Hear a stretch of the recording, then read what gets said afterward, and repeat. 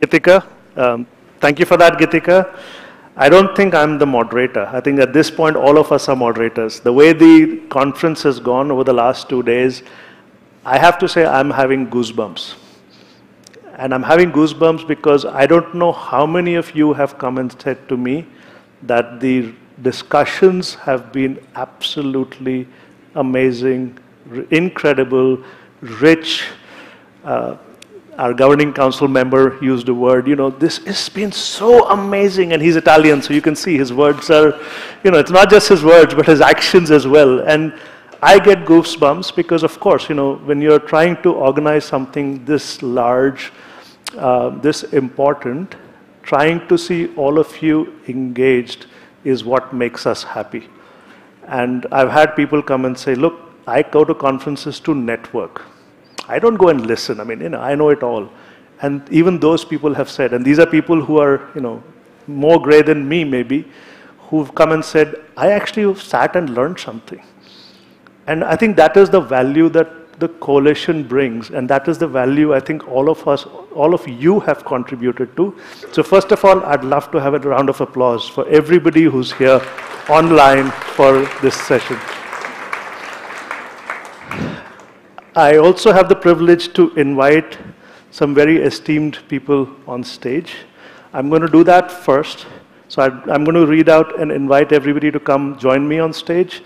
I will do a very quick summary presentation. It's not really a presentation. You're not going to learn a whole lot except see some nice images. We have a fantastic speaker online who we'll listen to. I won't share with that with you yet and then we'll go start to close the session. So with that, I'm going to invite first the Honorable Mr. Jovesa Vocea, the Assistant Minister, Rural and Maritime Development and Disaster Management from the Government of Fiji. Sir, can you join me?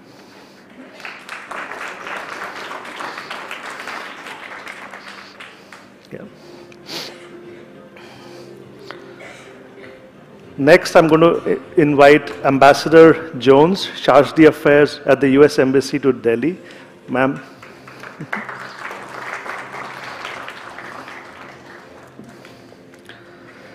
Mr. Seppo Nurmi is the Deputy Head of Mission at the European Delegation to Bhutan and India. Sir.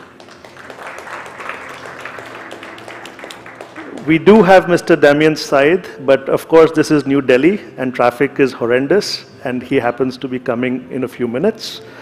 Uh, in the meantime, I'll also like to invite the two co-chairs for CDRI's Executive Committee, Mr. Kamal Kishore, who's the Member Secretary for Disaster Management Authority of India, and India's co-chair to the CDRI's Executive Committee, and Ms. Veena Reddy, who's Mission Director, USAID India, and again, US co-chair to CDRI's Executive Committee. So thank you very much for joining me. I will do a slide presentation. I promise this is probably the last presentation you'll see for the evening, so bear with me. Let's have the presentation. You know, we started off yesterday with two really, really, really powerful speakers. We had the Prime Minister of India talk about, you know, infrastructure development must leave no one behind. I think that message is incredibly important because we sometimes forget that infrastructure, end of the day, is about providing services to people. And his point of nobody leaving behind is about inclusiveness. And that's where we started. We had the Prime Minister of Bangladesh talking about how problems are global and the solutions also have to be global. I think the coalition, importance of the coalition is about the global reach and the global solutions and the global problems that we're all collectively thinking about. So that's where we started, you know. Hopefully from there, one doesn't go down, one goes up, and we actually did. So that set a fantastic stage for the conversations to start. We had an amazing participation in the room, but also virtually. We had people from 158 countries participate online. Can you even imagine? I mean, I forgot, I've forgotten how many countries there are in the world at this point, and somebody can probably tell me. But 158 is definitely more than half. Right? And that's the amount of people who've actually participated online to listen to what all of us have been discussing. And that's impressive. We also had 257 people in the room, and that itself is impressive. You know, I think it's not easy to have people come to the room, talk, discuss, and we had 257 people. 2,000 plus participants virtually. So again, you know, this is the number of people we are starting to reach by this conference. It's not just the people in the room, it's people who are listening to us online, and all of this is getting recorded, so there'll be more and more and more people hopefully listening to this message, the messages that we are all sharing. We planted 145 trees.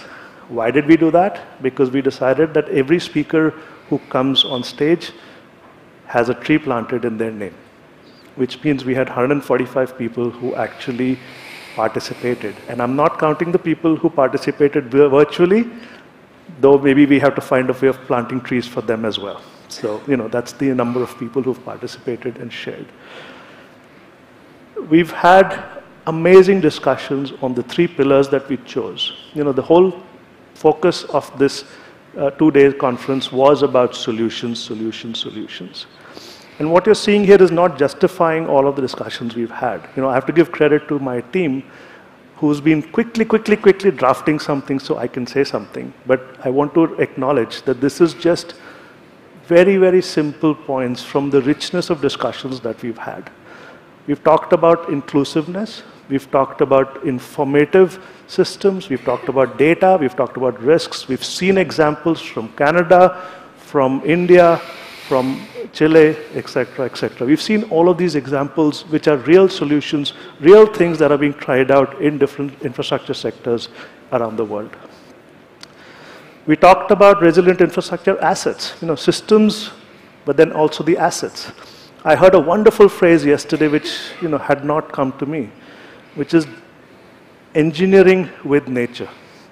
We all talk about nature-based solutions, but the statement engineering with nature is also starting to say that nature itself is providing a solution. And when we think about engineering our problems, it's not just about physical infrastructure, it's also this engineering with nature. A lot of discussions about the assets. And we talked about finance. You know, we heard from small island development states where talked about how skills are getting lost because people get trained and then they migrate. We heard about how in small island development states, infrastructure is much more expensive. So when you think about financing infrastructure, we have to consider these additional costs that some of the most vulnerable countries in the world actually face. We actually had a wonderful discussion about the strategic direction for CDRI. Day before yesterday evening, the Governing Council approved our strategic plan for the next four years. And we spent two hours in a room deliberating with all of you, what does that mean? What does that mean for the coalition that we want to build? What does that mean for the training and capacity building we need to provide? And what does that mean for on-the-ground action that can uh, bring change to countries that are part of our member countries? And all of you participated in that, and I appreciate all of the input that we've received, which is handful and, and, important. We made a number of announcements. So for anybody who's not yet gone online, and I think all of these should be online by now, we launched a study on the resilience of airports. We launched a lexicon. You know, we all talk about disaster resilient infrastructure, but if I take a quiz, I suspect all of you may have different versions of the answer. Well, the lexicon, open it, there are about 60 definitions. Read it because by the next ICDRI, we'll actually quiz you on it. That's online as well. We launched an amazing initiative with support from the US government. We launched what we call IRAX, which is the Infrastructure Resilient Academic, Academic Exchange. All of you have participated in the discussions, but the whole notion of exchange amongst academia to, to, to bring out actionable solutions. I think a lot of things we heard about was actionable solutions. And I think we're going to start looking at how does academic partnerships start to deliver on this promise, on the need on the ground.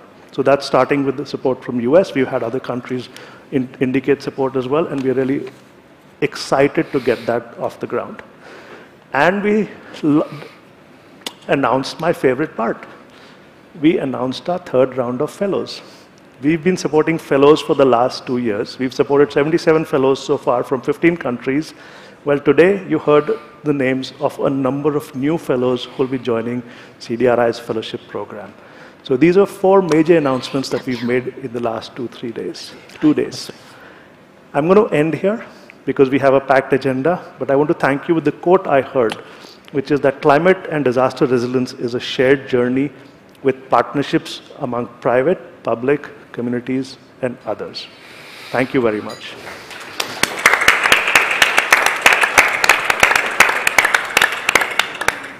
It's now my pleasure, and I hope you're there um, it's my pleasure to invite Professor Jeffrey Sachs, I think all of you know him, to give us some comments on what he heard, but also what his vision for resilient infrastructure is. So with that, over to you, Professor Sachs. So you're on mute. Uh, uh, not on my side. Uh, can you hear me now? Yes. Oh, good. Okay, very good. Well, what a what a great honor and pleasure it is to be part of ICDRI 2023. And what an amazing summary you just uh, gave uh, us uh, of the, the fantastic presentations uh, during this meeting. Uh, I can't add to the wisdom of the uh, specific solutions on technology, on ways to combine technology with the with nature uh, in the highly varied contexts of those 158 nations and, and indeed it's well over half uh, out of the 193 member states uh, you've got uh, a, a, very very good share of them participating in this meeting. But what i can add as an economist is uh, a word about the financing side we face a financing crisis in general for sustainable development. The Sustainable Development Goals, the Paris Agreement, the protection for resilient infrastructure are all desperately behind uh, time schedules and human needs. Overwhelmingly, in my view, not because we lack solutions or will, but because we lack financing. This is especially true, of course, for the low income countries and the lower middle income countries that lack budgetary resources and investment grade credit ratings that would enable them to tap capital markets on acceptable terms. Uh, as an SDG advocate for UN Secretary General Antonio Guterres, I see every day the financing crisis of the Sustainable Development Goals overall. It's uh, hitting us with infrastructure. This shortfall of finance hits us with energy systems transformation, which is urgent, of course, for meeting the climate objectives. It's hitting us in delivery of social services, in even having children in school in universal health coverage, and it hits us in basic access to basic services, uh, fresh water, safe water, sanitation, uh, transport, digital access, uh, and many other uh, needed services. So, what you are grappling with with uh, resilient infrastructure is a part of a large financing puzzle, which is how are we going to enable low income and lower middle income countries to access the capital needed for the investments that you have been outlining and discerning during the conference. My uh, assignment uh, in the UN system is to help mobilize uh, a significant increase of financing for all of these objectives. UN Secretary General Guterres has called for an SDG stimulus, meaning a major expansion of financing to enable all of the SDG program, including resilient infrastructure, to be achieved. And this is core priority for the UN system. there will be four important conferences this year where I want CDRI to feature prominently, where I want the issue of resilient infrastructure to feature prominently. The first conference will be in Paris uh, on June 23. This is a conference of the G20 and the uh, French government uh, that will be hosted by the G20 and President Macron in Paris on financing the climate agenda. We have massive shortfalls on financing mitigation, financing adaptation, and financing losses and damages. So, June 23 is a first critical opportunity. The next critical opportunity, perhaps the most important, will be in Delhi on September 10 and 11 when India hosts and presides as president of the G20 at the summit level. I am counting on the G20 countries to come forward with real financing commitments. This has not happened yet. This is top of agenda, in my view, for the G20, which, after all, is the group of the largest economies in the world, the leading economies that have to provide the solutions for finance for the sustainable development agenda. The third conference will be the mid term review of the sustainable development goals at UN headquarters about two weeks after the G20 summit. This will be a head of state summit on the Sustainable Development Goals. We are way behind the SDGs. And the overwhelming reason for being behind is the lack of financing for at least half the world. And the fourth major event this year on financing will be COP28 in November and early December uh, in Dubai hosted by the Emirates, of course. And that will focus on finance, on reaching solutions for losses and damages, on reaching solutions for the rich countries to finally fulfill 14 years late the commitment to show how the 100 billion, which is just a down payment on climate action, is actually going to be fulfilled. So, to my mind, we have to see 2023 as a year of fundamental breakthrough. We've gone on year after year without a solution to the real issue. You have been describing all of the technological pathways, all of the ways to build resilient infrastructure and we have pathways for decarbonizing energy systems as well. But we don't have the means of implementation because these investments are not affordable in half the world. To my mind, the single most important action to take during this year is a commitment by the major countries for a massive scale up of financing from the multilateral development banking system. This means the World Bank, the Asian Development Bank, the Asian Infrastructure Investment Bank, the BRICS New Development Bank based in Shanghai, the African Development Bank, the Inter American Development Bank, the Latin American Development Fund, and others. These banks in total operate currently at a scale of about 100 to 150 billion annual lending flow. This should be a trillion. And resilient infrastructure should be a core part of that scale up.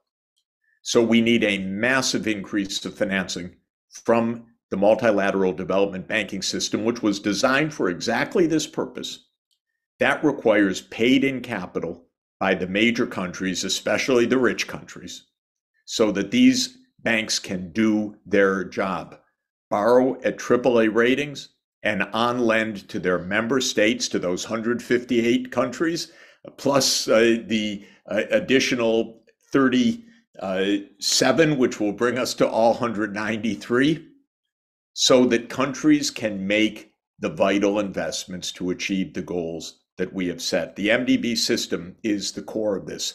Let me just conclude by saying I am absolutely counting on and thrilled by the presidency of the G20 being held by India this year, followed by Brazil in 2024 and South Africa in 2025. Three BRICS countries, 2023, 2024, 2025, that can reform the global financial architecture so that it underpins truly the sustainable development and the future we want. Prime Minister Modi has said that the G20 commitment is Vasudhaiva Kutumbakam, uh, that the world is one family. Great, uh, ancient uh, Hindu wisdom. Uh, and I think that that wisdom is what can carry us forward. We need a world for all, as the Prime Minister said in this conference, and we need financing for all. Thank you so much for letting me share these uh, thoughts with you today.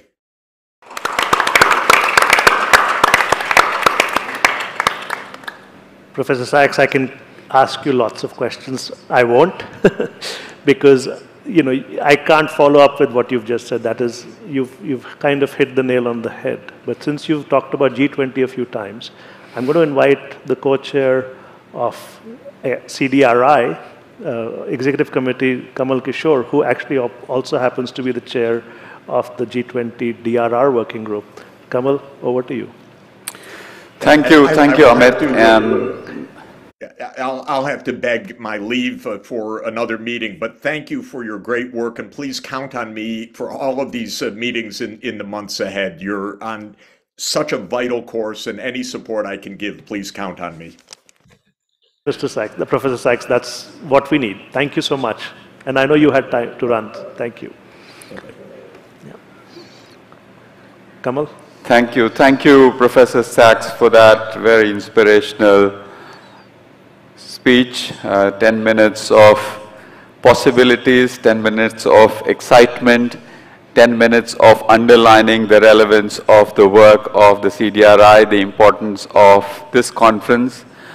What he highlighted was that what we are doing here is not a niche boutique or esoteric project. It is really mainstream to our development discourse.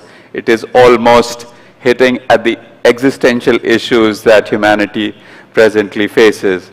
So if we get the resilient infrastructure story right, we will help improve the lives and livelihoods of millions of people across the world. It is fundamental to ensuring not just human well-being, but also human dignity ensuring people who have never had access to reliable water, health, sanitation, education, that they have these services and they have these services in a reliable, sustainable fashion. So that was really a, a, a reminder and sort of a reaffirmation of the, the enterprise we have embarked on here.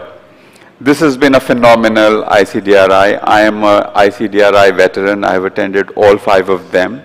And this is undoubtedly the best. If you don't believe me, there are at least six people in this room who were there in ICDRI 1 as well. In those days, it was called IWDRI. And then we scaled the ambition. Talking about scaling the ambition, uh, we have 158 countries who participated. That's 85% of the countries that have signed on to Sendai framework. I'm wondering where are the remaining 29? We've got to get them in the next one. Uh, so we have to have 100% coverage when it comes to ensuring resilience of infrastructure systems.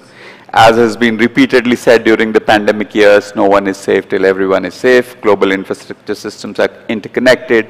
So let's try to continue to expand the partnership it's really gratifying from the perspective of government of India. We really made a right call a few years ago and we've put our money in the right place. This is an investment which is already paying off. Forget about the other streams of work that CDRI does.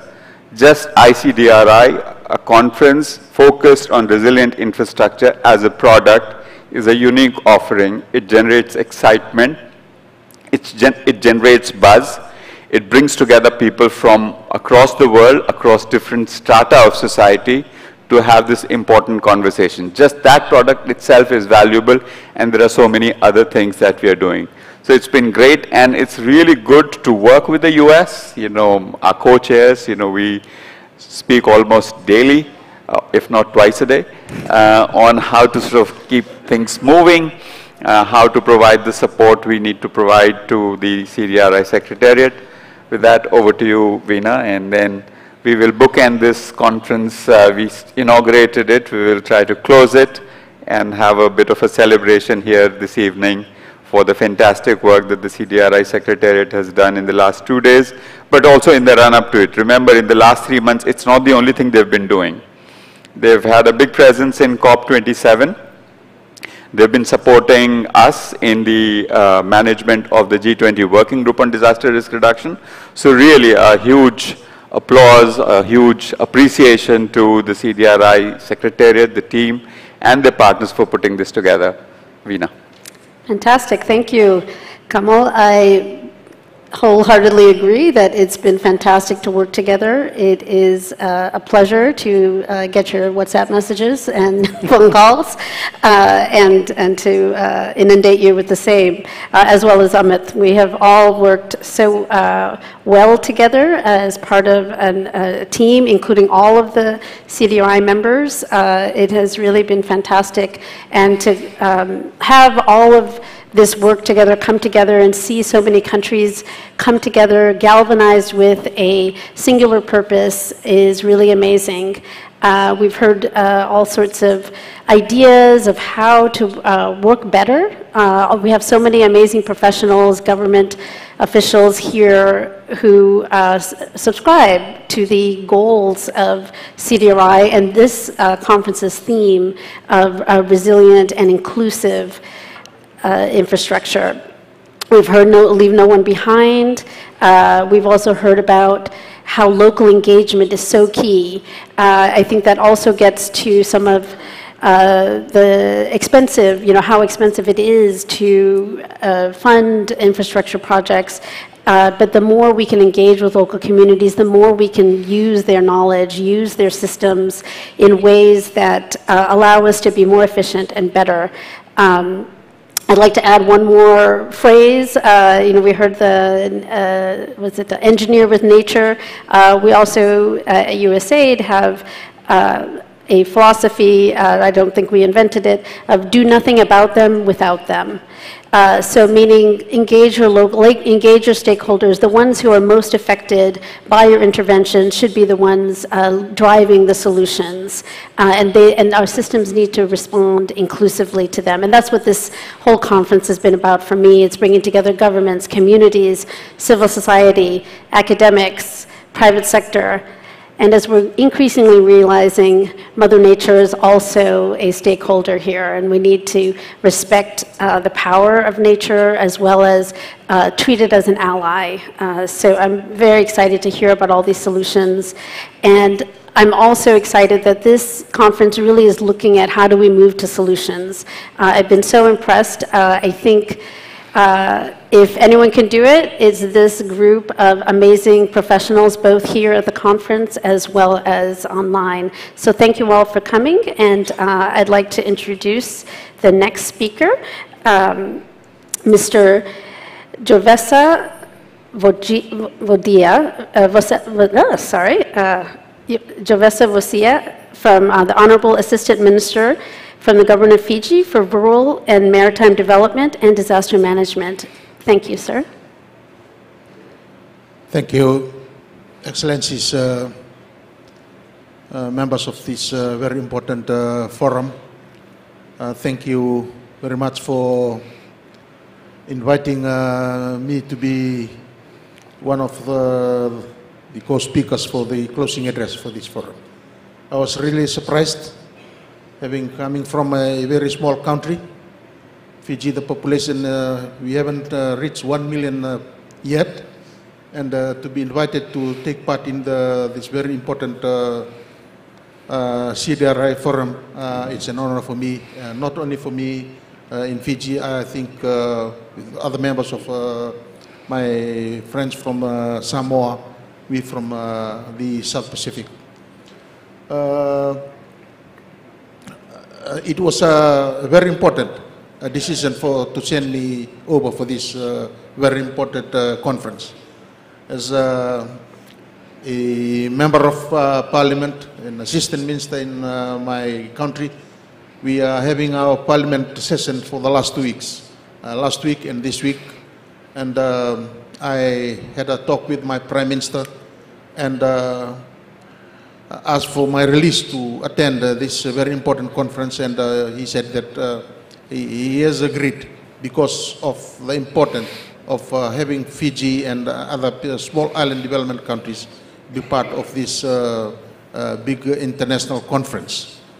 Uh, I know that uh, we have uh, a lot of differences uh, in size, in the population, in our economic uh, achievements, but uh, one thing that uh, uh, I admired the value that we shared, most of the values, that we have a common bond, that we are countries that are affected by natural disasters, year in and year out. We are countries that are, are vulnerable to the effects of climate change. And I'm uh, here uh, this evening um, being proud to be part of this uh, conference and uh, especially to talk about the challenges that we in Fiji and I'm sure other Pacific Island uh, uh, states, small island, Pacific Island, small states uh, are facing the same problem. I think uh, listening to some of uh, the, the very important uh, lectures and interventions in the last two days, one thing that most of us agreed and we have talked it over uh, with our counterparts from uh, Samoa and the delegation that comes over from Fiji, and I, I, I, I, I firmly agree that uh, believe that this is uh, the same for all the small Pacific Island countries, is in terms of uh, the financing. The financing uh, to, to try and uh, recover from uh, natural disasters that occur year in and year out. And I say for Fiji, uh, every year there's cyclones and floodings. This year alone, we had about four floodings, and we have spent considerable amount of money of uh, our finance in trying to recuperate, trying to recover, restoration uh, of the works. We haven't completed the restoration for the previous cyclones, the big ones in uh, 2016, Cyclone Winston. And straight after that, we had uh, Yasa and uh, Ana. And whilst we are still try- trying to recover from those big cyclones, yet uh, small cyclones and other floodings, other natural calamities do happen year in and out, year out.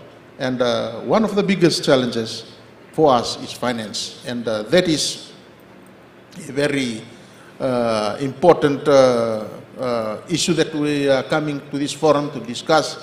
And as a member of uh, this uh, uh, ICDRI, uh, if we can help each other in terms of financing, uh, especially our infrastructure, uh, infrastructure in uh, our small Pacific Island uh, states.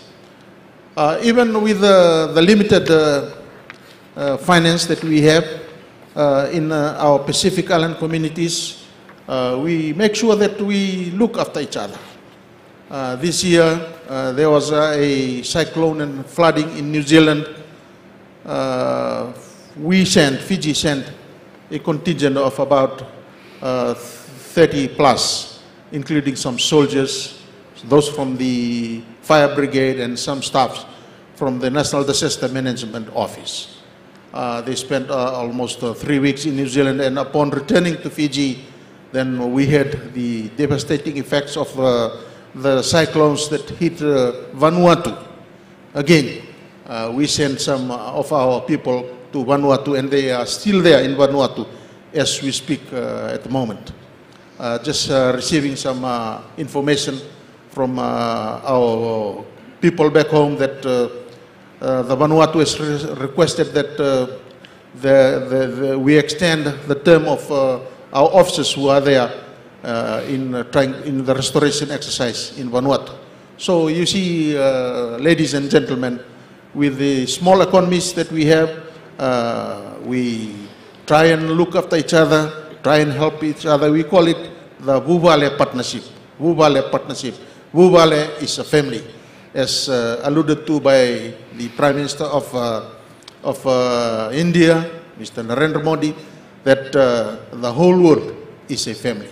We are part of a family, so we should look after each other, and uh, that is one of uh, the, the take-home issues that we from Fiji, and I believe from uh, our friends from Samoa too, would like to take home, and is uh, the issue about the assistance towards the uh, infrastructure, infrastructure uh, in our small island countries, the, especially the, the infrastructure, the devastation effects on our infrastructure that has chewed up a lot of our economy year in and year out.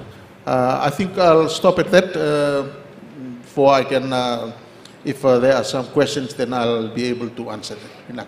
Thank you. Thank you. Thank- Thank you, uh, Assistant Minister Vocea. Those uh, are very powerful and compelling stories that you've shared, and uh, realizing that you're able to do this uh, Vuvale partnership even in the face of continuing disasters, uh, continuing cyclones, is truly inspiring. And uh, we really thank you for sharing your experiences uh, of the challenges that Pacific Island small states experience, and even among, uh, even uh, under such threats, you're able to provide support to New Zealand, and I believe you said Vanuatu as well. Um, I also want to congratulate CDRI for launching and operationalizing the infrastructure for resilient island states and setting up the Infrastructure Resilient Accelerator Fund uh, that will help support IRIS, uh, the uh, infrastructure for small island states. And uh, hopefully, uh, we'll see more and more partnerships with small island states to provide technical assistance on flood, landslide, cyclone risks, um, and to produce safer, more resilient infrastructure that takes into account local needs.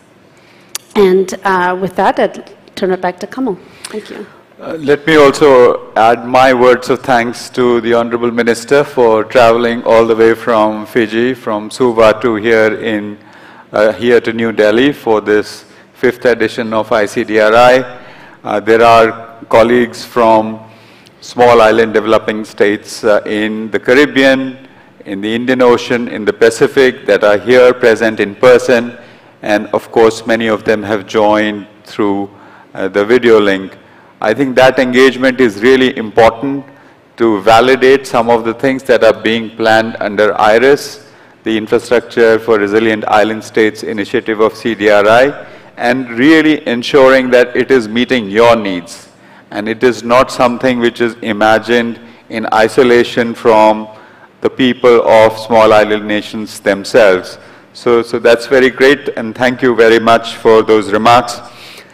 Uh, CDRI has been very lucky with the kind of leadership it has had in the last few years.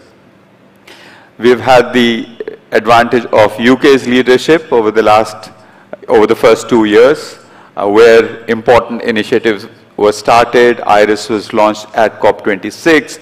We had some experimental work with the British Council of India on, uh, British Council based here in India to look at how academic programs could be developed in this space. We started to work on the global biennial report on infrastructure resilience. And after the first two years, now the leadership of US in this endeavor has been truly remarkable. Those of you who have heard Administrator Samantha Power speak, she really says that let's supercharge our resilience efforts.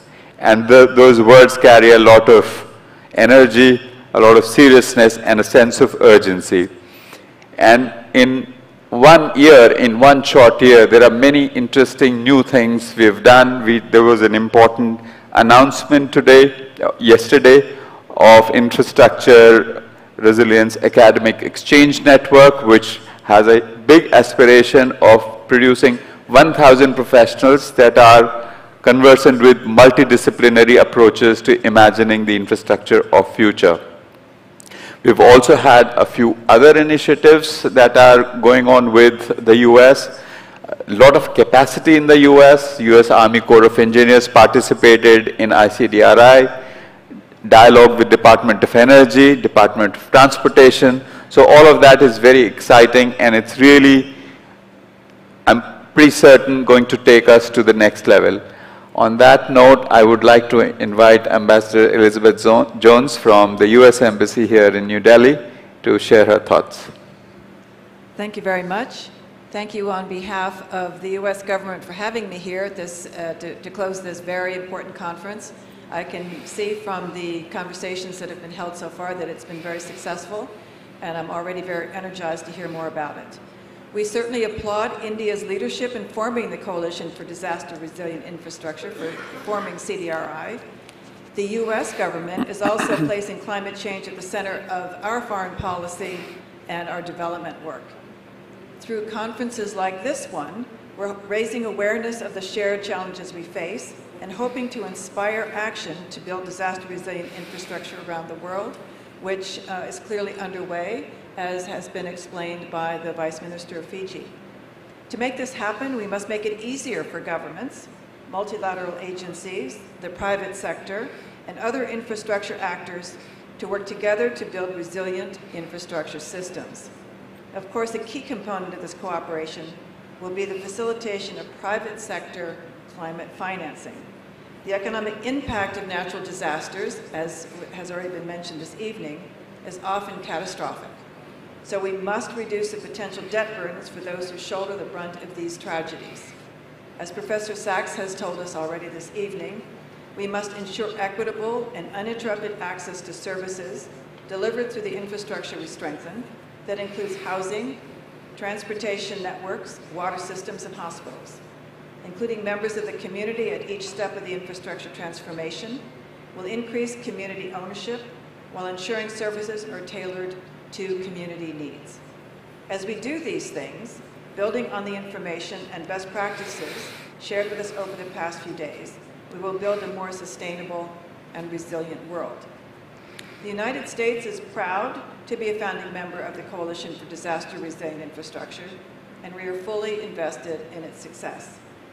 USAID plans to continue its strong partnership with, CDR, with the CDRI Secretariat in coming years, and over the next year with its leadership in both CDRI's Governing Council and Executive Committee.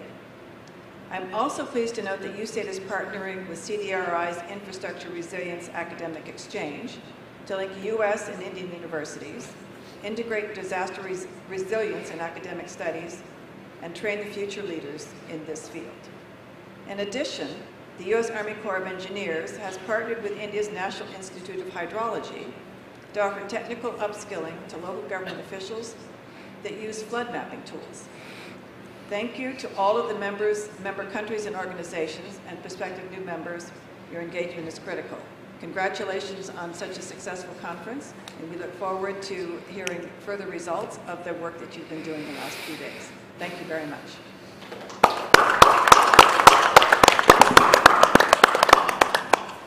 Thank you very much, Ambassador Jones, and particularly for underlining the role of private sector in scaling up investments in infrastructure resilience. That was one of the major emerging themes of the current edition of ICDRI as well. We had a lot of engagement with private sector colleagues and a lot of frank exchange about, you know, what is it that will help us, you know, move the needle in that direction. So thank you, thank you very much for those remarks. You know. Thank you, Ambassador Jones, for your leadership on this issue and uh, on development issues in general uh, and the relationship with India. Uh, I'd like to uh, next introduce uh, or request uh, Mr. Seppo Nurmi, Deputy Head of Mission, European Delegation to Bhutan and India, to provide some remarks from the EU. Uh, thank you very much, and uh, good afternoon to everyone. It's a real honor to be representing the European Union at this closing session. As you have seen in the past two days, ICDRI serves as an important space for practitioners, policymakers, and all stakeholders to coalesce, to share experiences and tools to help improve policymaking and find better solutions to ultimately save human lives. The European Union is an institution that has always stood for collective action to address global challenges. We are a founding member of the CDRI, and we have actively be, been engaged in previous ICDRIs by sharing experience, best practices, tools, and instruments. This year, we have been pleased to enable participation from the European Commission's Directorates General for International Partnerships and for European Civil Protection and Humanitarian Aid Operations, from the European Organization for the Exploitation of Meteorological Satellites, the European Center for Medium Range, range Weather Forecasts, one of our partners in Nepal, namely People in Need, and finally, a key partner in insurance, the Global Shield Solutions Platform. Building on the remarks of Honorable uh, Minister Vocea, we are also very much looking forward to the implementation of the Infrastructure for Resilient Island States initiative, of which the EU uh, is providing a grant of 5 million euros. Contributing to this initiative is one way we are delivering our own global gateway strategy. This is our approach for safe, secure, resilient, and sustainable infrastructure through which we have many tools for promoting quality and resilient infrastructure globally. We are also aiming to build on our financial co cooperation with CDRI in future, hopefully in South Asia, which suffers from enormous disaster resilience issues. To complete my uh, closing remarks I, remarks, I would like to address a question we received from CDRI Secretariat earlier this week on EU policies. Namely, they asked uh, us the following. The EU has some of the most progressive policies and measures to adapt and address climate and disaster risks across infrastructure sectors. What are the emerging priority areas for the EU where its significant capabilities in terms of technology, finance, and know-how can be leveraged to deliver contextualized DRI solutions?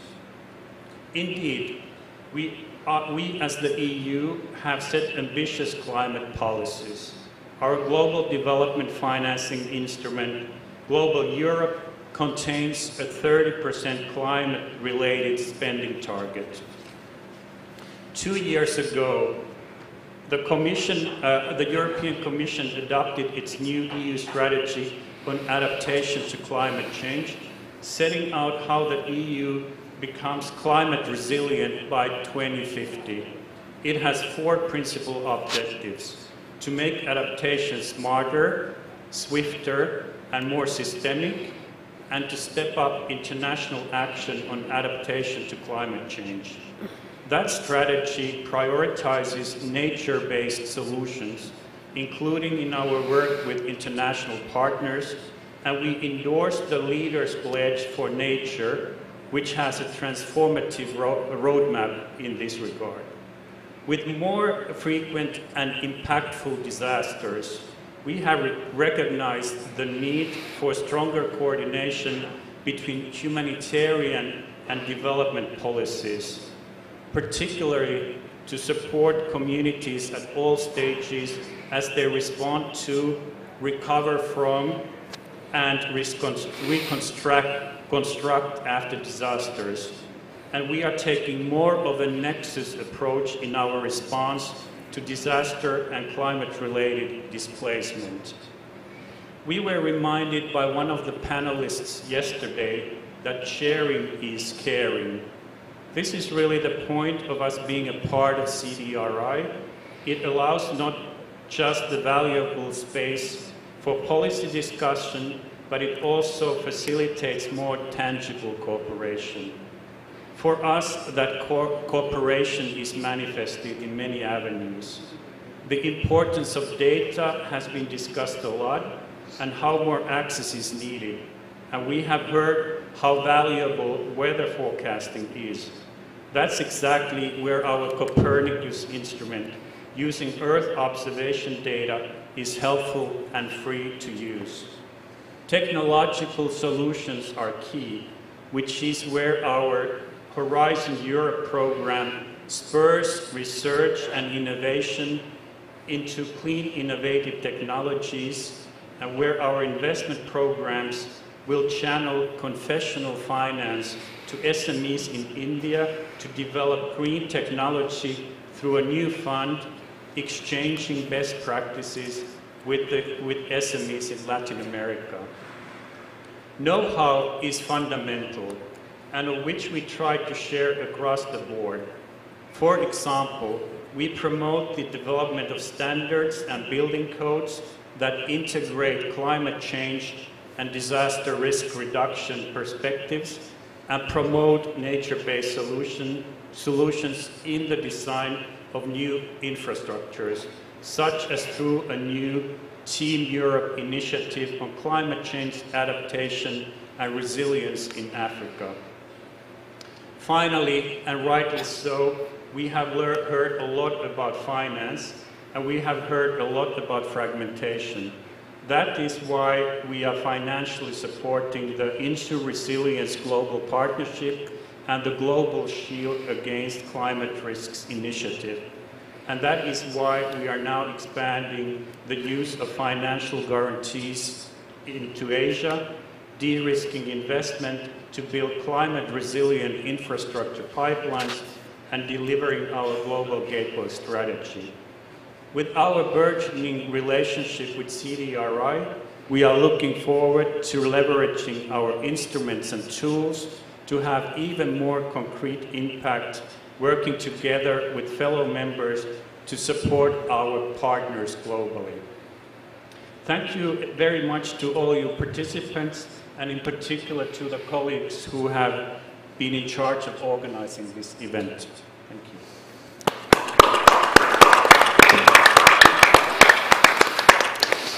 Thank you. You, Sharjeh Uh, thank you for expanding on the EU's financial commitments, but also the myriad of uh, technical expertise that you're bringing to these issues, whether it's uh, the space agency or uh, humanitarian workers, universities, uh, which is similar to, as Ambassador Jones touched upon, bringing the entire uh, spectrum of uh, interested parties and experts in this area to to, to help find solutions and very much take uh, your suggestion of stronger coordination between humanitarian development, uh, uh, response, uh, recovery, and then going to development as well. And is very much needed. And I think uh, CDRI has such a role to play in helping us bridge uh, those connections. How do we get to a more resilient system that will prevent the next humanitarian disaster or at least mitigate it? Thank you. I would like to add my words of thanks to you. Uh, you've been a wonderful supporter. With regards to IRIS, several years ago, EU was amongst the first CDRI partners to encourage CDRI towards doing something very focused for the small island developing states. And since then, our partnership has been not only about financial contribution, but also co-creating the agenda of the coalition itself. We did a joint event with the Insurance Resilience Global Partnership at COP26. There's a lot of discussion with Copernicus, how Copernicus capabilities can be used for designing, operating, maintaining infrastructure systems for resilience. There is, of course, obvious linkage with Global Gateway uh, Initiative and quotable quote from your speech on smarter, swifter, systematic approaches to disaster resilience. of infrastructure systems. That's exactly what CDRI aims to do as well. With that, let me now turn to France. Uh, France has been a key supporter of CDRI as well. We had, even before CDRI was established, uh, we had one conversation in Paris on the scope and nature of partnership that coalition could symbolize at Paris Peace Forum, uh, which is a, a, unique forum which brings together global leaders from different regions of the world to address so many different issues. So thank you very much. Uh, you have also been a supporter of IRIS. I can see that we have colleagues from France seconded to the CDRI Secretariat and really driving IRIS from concept to practical action on the ground. Very much looking forward to your thoughts.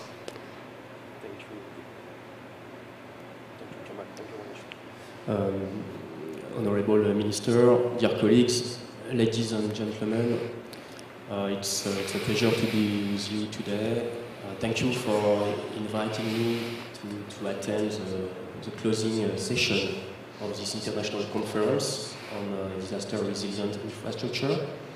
Uh, my apologies for arriving a bit late. Um, I could hear that the, the, the two days have been, have been quite informative, uh, inspiring, and, and fruitful. Uh, I'm sure that the, uh, the outcome of this conference will be a valuable addition to the solutions database of CDRI. Um, so, first of all, I want to express, to reiterate the, the support of France for, for CDRI. You kindly uh, mentioned um, indeed, we, we appreciate the efforts, the work of CDRI uh, across the world to promote uh, disaster resilience. It is uh, crucial in today's world. Um, we are also proud, uh, indeed, to, to be directly involved in the IRIS uh, program you talk, talked about. Um, it has triggered large interest from many stakeholders. So we, uh, we are on board and we continue. Um, to, uh, for, for, a more uh, tangible uh, impact, we would like to share uh, some, some ideas uh, to explore more synergies with other similar international initiatives, um, such as the Global Alliance for Buildings and Construction, Global ABC, which includes a working group dedicated to adaptation and resilience. We also have the Buildings Breakthrough, launched by France and uh, Morocco at the COP27 last, uh, last year, uh, with the aim uh, to make net zero and resilient buildings the new standard by uh, 2030. On the international level, through its uh, development aid and climate finance, France support, supports many projects uh, contrib contributing to reduce uh, disaster risk in vulnerable countries. We are supporting the development of early warning systems in vulnerable countries through an annual contribution of 8 million euros to the CREWS, standing for Climate Risk and Early Warning Systems initiative. We are also supporting the Global Shield against climate risks, which will enhance financial protection in vulnerable countries. I would also like to highlight the summit for a new financing uh, pact uh, mentioned by Professor Sachs.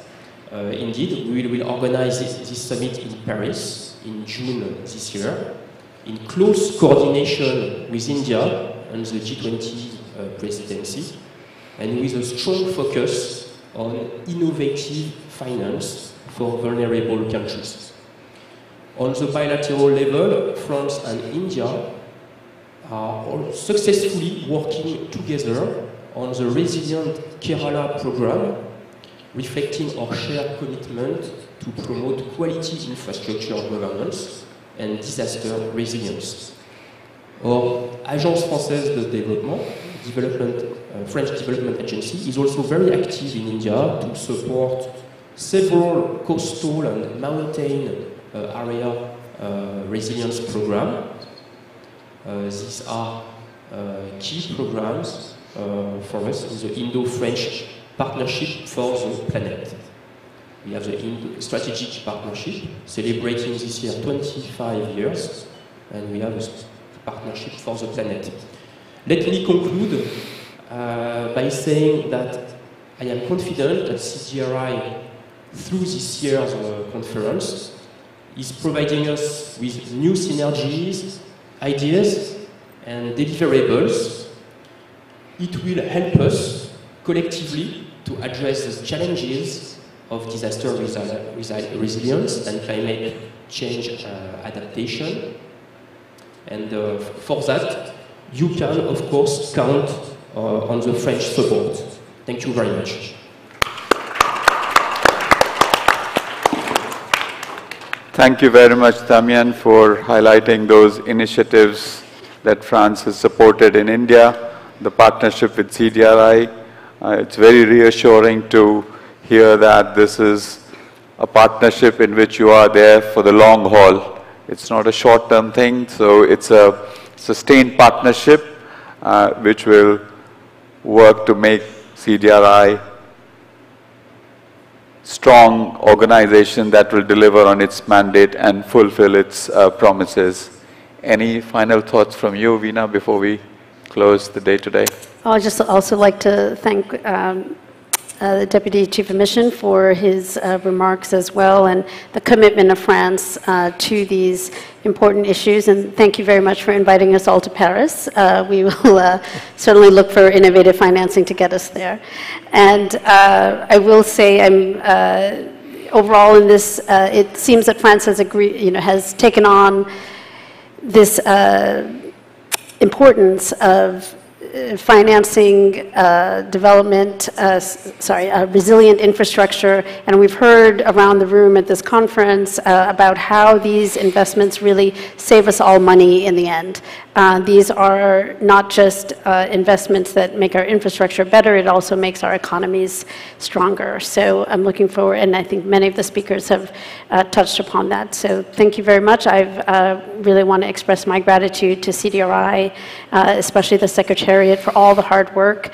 Uh, the more smooth, the more delicious a conference is, the more work that went into it.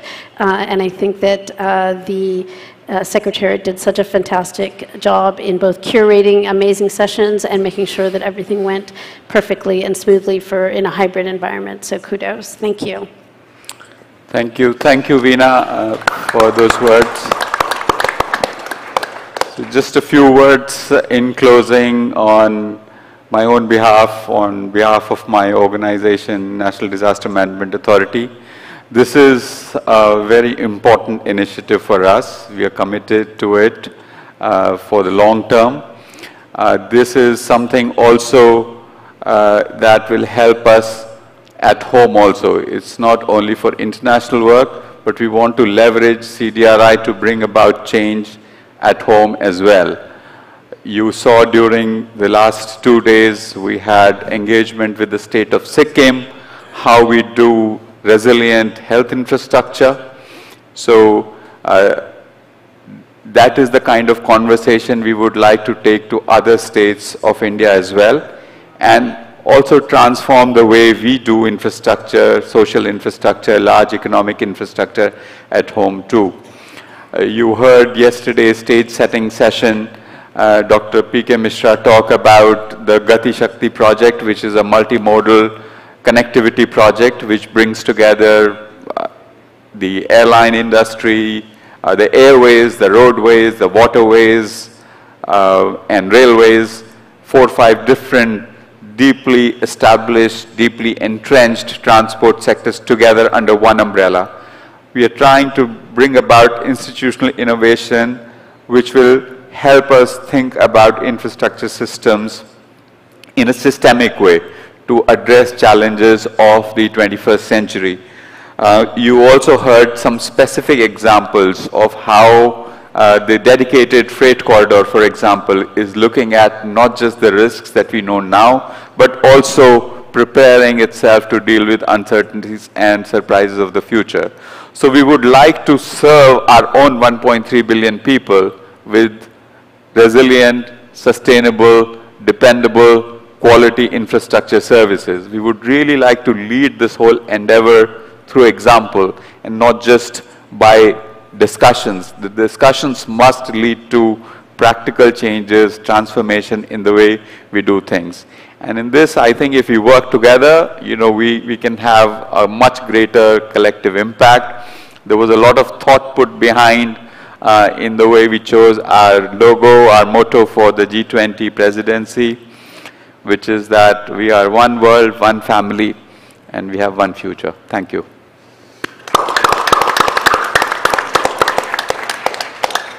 So I think with that, we will close, but I do want to give a vote of thanks to all of the team at the Secretariat that has really, really, really put in a lot of hard work to make it a success. So a good round of applause for everybody who's really contributed to this.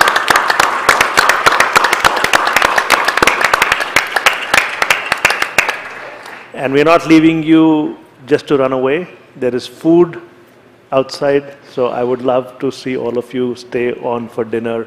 Please join us after this. Thank you so much for joining us here. Thank you. Well done. Thank you. Thank you, Damien. Thank you. Thank you. Thank you. Thank you. Thank you. Thank you. Thank you so much. Yeah. Thank you. Yeah. Thank you. It's never easy to organize such an event. Should we take? Yeah. Yes. Remarks are. Thank you so much. So I, Came only for a few I, I have to give you your trees before I Thank you. forget. Sorry, you start. Yeah, Thank you. Minister. We need to work with your uh, off day as well. Thank